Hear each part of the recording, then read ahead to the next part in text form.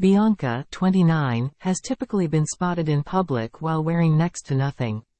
She's been wearing tiny bodysuits, small pieces of fabric, and sometimes she didn't wear any clothes at all. Kanye, 46, married Bianca in late 2022 after getting divorced from Kim, 43, earlier that year.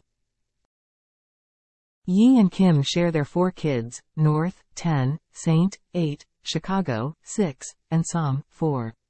Previously, Bianca was seen with North while walking hand in hand in Los Angeles.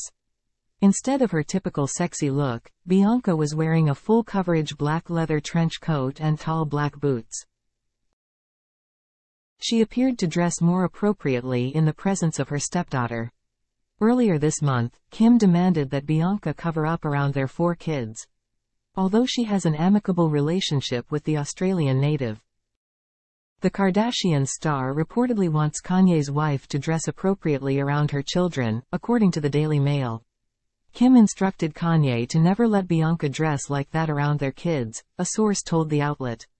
She is truly surprised that Kanye would let his wife leave the house like that.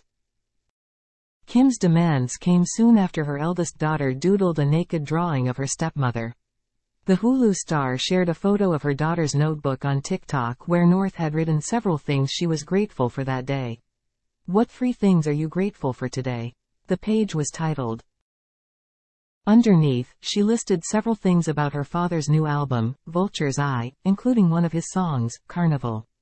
After the list, North drew her rendition of the album cover and depicted her stepmom facing the wall completely naked and sporting a teeny tiny thong.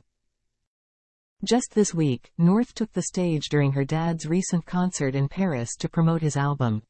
She stood alongside her dad and Ty Dolla Sign as they performed a few of their songs. Vultures is a collaborative album between Kanye and the Love You Better singer set to be released in three installments over the next few months.